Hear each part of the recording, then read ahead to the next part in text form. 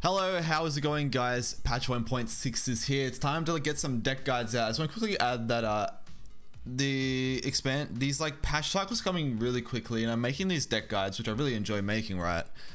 But however, because the patch cycle's so quick, I think it's best if I just kind of I want to keep just doing these deck guides. I want to keep like updating them and uh, keeping you guys up to date with lists I think are pretty good and you can take the ladder and win some games and I'm a, I'm a huge fan of Twisted Fate Ezreal. I'm not running on a script I'm just spitting words out my mouth but anyway Twisted Fate Ezreal is like one of my favorite decks and it's something I always like look for in every single meta now and uh, yeah I want to share with you guys this one I'm gonna not take full credit for this but I've taken ideas from these decks and those decks and out and about even on Mobalytics their main meta deck that was worked on by Swimming etc. But one of the biggest, coolest cards right now is pick a card in Twisted Fate Ezreal. You just don't run out of gas. This card's very tricky to use, and in control matchups, you wait till later in the game, if possible, in hopes that you don't discard some valuable cards. Because in the early game, these cards are going to be fleeting, right? So that is a bit of a problem. You have to be super careful. But this is like the new flavor at the moment. And uh, I don't know why we didn't play with this card uh, card earlier. I think this card's incredibly powerful and insane in terms of card draw. And you've got plenty of great targets for it. And then uh, if you have like a fleeting card that's like not as valuable, then it doesn't hurt too much. You'd hate to see like double Riptide Rex go, but that's not always going to happen. This is going to be testing your skill dramatically but very cool card. Let's run down the current list. So it's going to be three Riptide Rex always at the moment. Uh, this is just insane, insane power, and like literally, this is like one of the cards that wins you the game outside of Ezreal sometimes. I'm running a single copy of Zap Sprayfin for continuous cycle, and it's a one-off. I like these one-offs now. I'm kind of like getting a little bit uh, intrigued by running single copies of cards for the off chance that they do something kind of interesting. And at the moment, with elusives being less prevalent, I can see this being like an alternative card draw uh, system. It's like unlike running salvage or something. This has a body behind it it. We draw one, we attune. It's a pretty good card. We could run more copies of this, but at the moment, I'm going to run one of as an experiment, but definitely you can change this card around if you don't prefer it.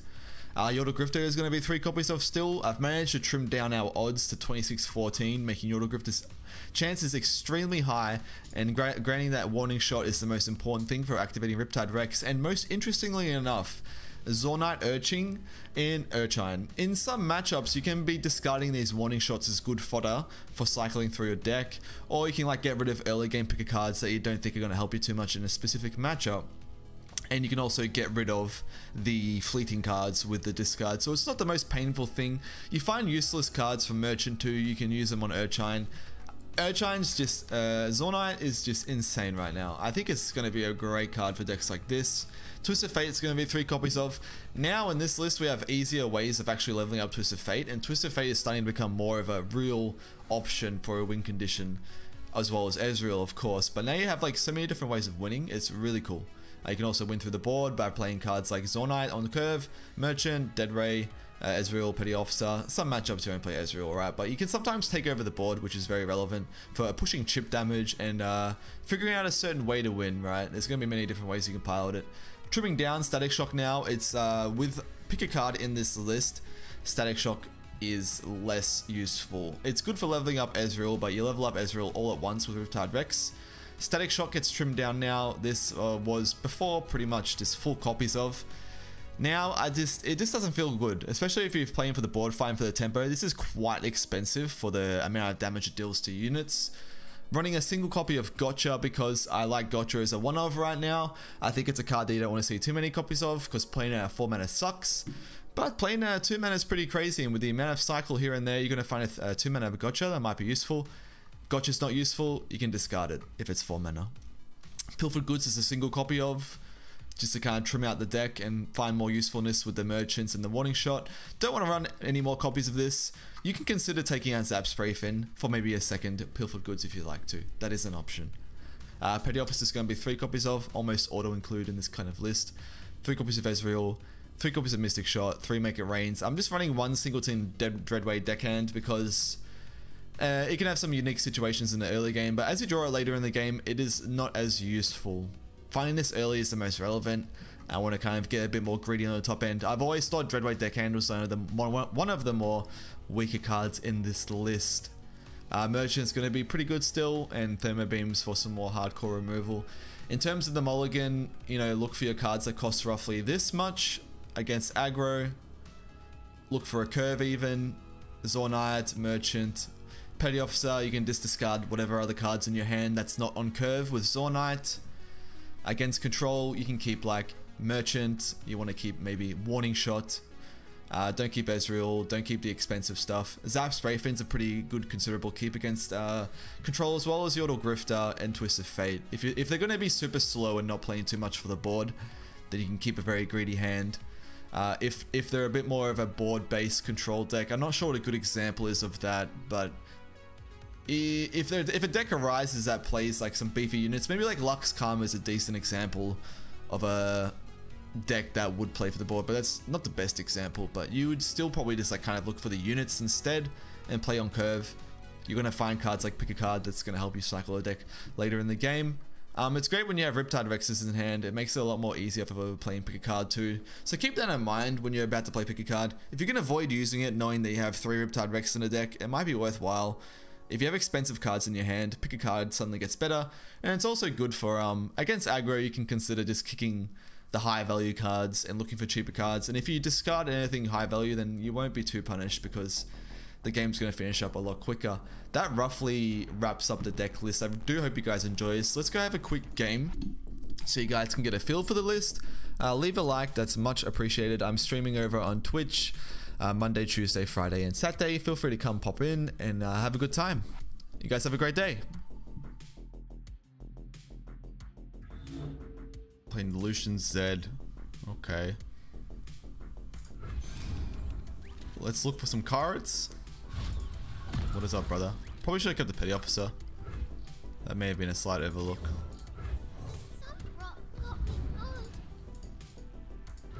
Hey, you missed the one drop. Excellent.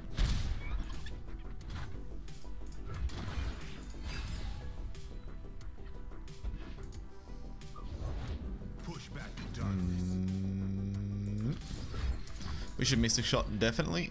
Force out a Ranger's Resolve now. That would be massive.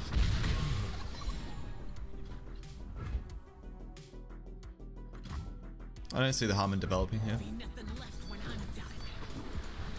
Getting a kick onto the field is going to be cool. The 1 HP doesn't usually become too relevant.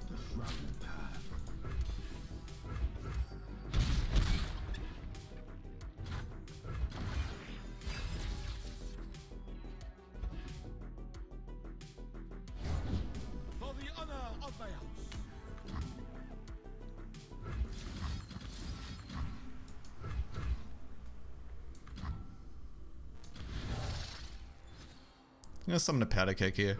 It's a way more effective mystic shot. He gets to attack me. That is okay. I get to clear the Zed that is buffed to the shithouse. Of course, unless he has Ranger's Resolve.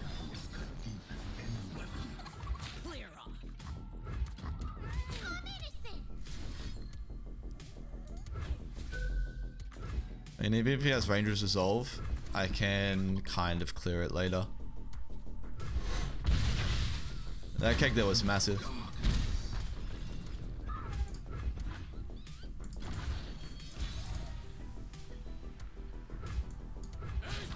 Let's just open attack here. This is quite a threatening attack. For sure. We're like winning the board at the moment, so it's like really good. Let's go for the Yordle Grifter.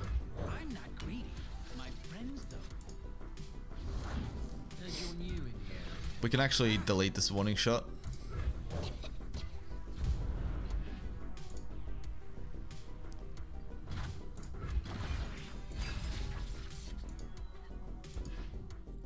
Interesting. I've got a weird play I can make here.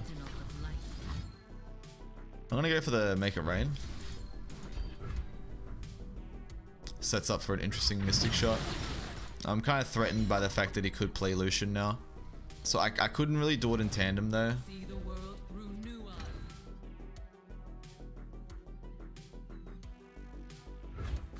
The static shock's pretty good. I haven't seen Ranger's Resolve yet. Missed your chance to run.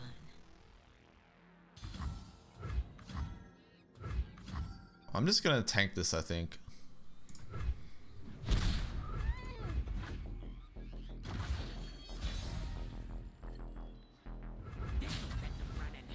I like this open attack a lot. I wonder if developing would achieve anything interesting. I'll take this attack while I can.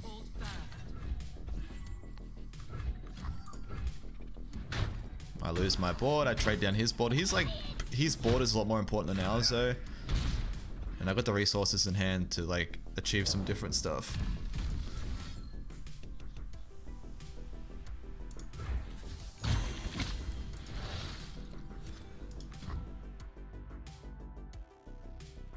He can grant this elusive. That's a bit of a problem. I'm gonna go for the powder cake here. I forgot that they run ghost in this deck. So I might be losing here. Unless of course he develops. I can stun it actually, that'd be huge if he allows me to do that. Yeah, this stun's very, very, very important.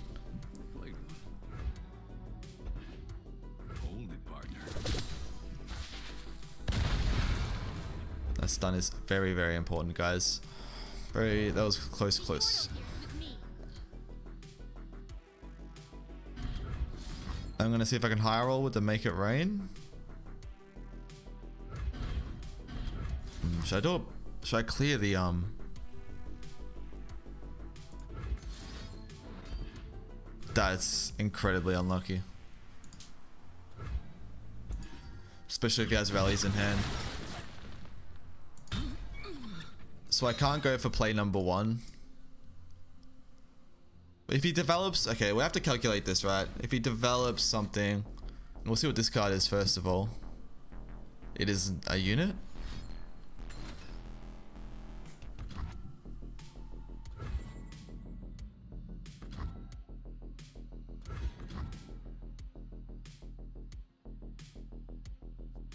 Okay, what's this stun mean? I lose to Rally if I don't clear the Greenglade Duo. So this is the play.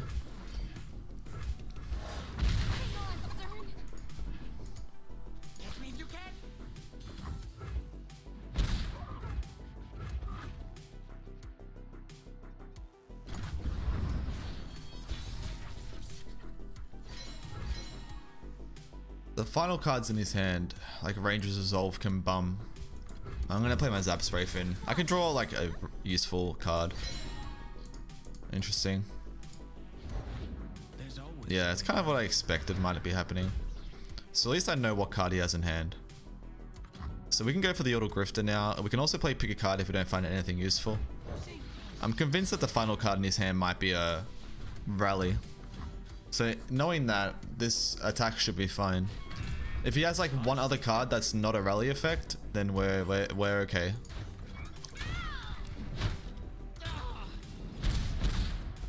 Cool, so this pick a card's pretty much to be super, super busted.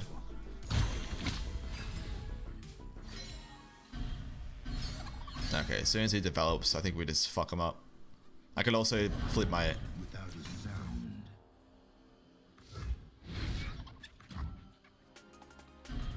It's just Rex, for sure. One card in hand. One card in hand, guys. Not much to play around there. And this, like, picker card's low-key doing some pretty cool stuff.